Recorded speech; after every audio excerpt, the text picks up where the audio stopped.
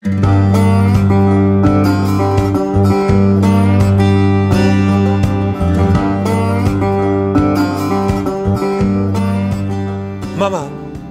u bent 72 jaar oud.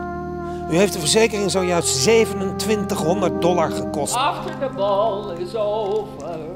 After the Ik werk graag voor Joden. Mensen zeggen wel, die zijn gierig en zuinig, maar... Daar hoeven ze bij mij niet mee aan te komen, Mr. Worthing. Hoe klinkt 20 dollar per week?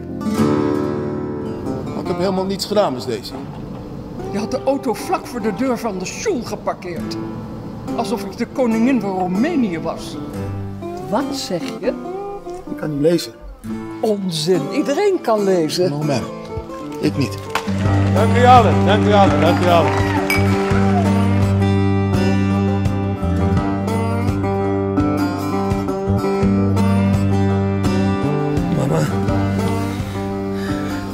Wat bent u toch een dotje.